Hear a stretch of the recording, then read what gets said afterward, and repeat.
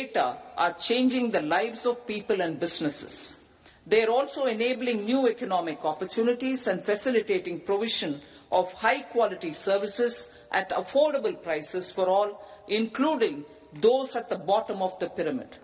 Opportunities for India at the global level are expanding. India is showing solutions through innovation and entrepreneurship of its people. Research and innovation for catalyzing growth, employment and development. Prime Minister Shastri, Prime Minister Lal Bahadur Shastri gave the slogan of Jai Jawan, Jai Kisan.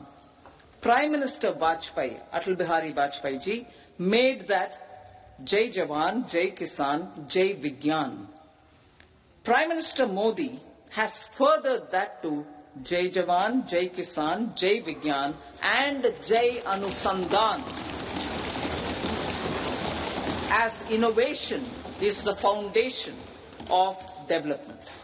For, for our tech savvy youth, for our tech savvy youth, this will be a golden era.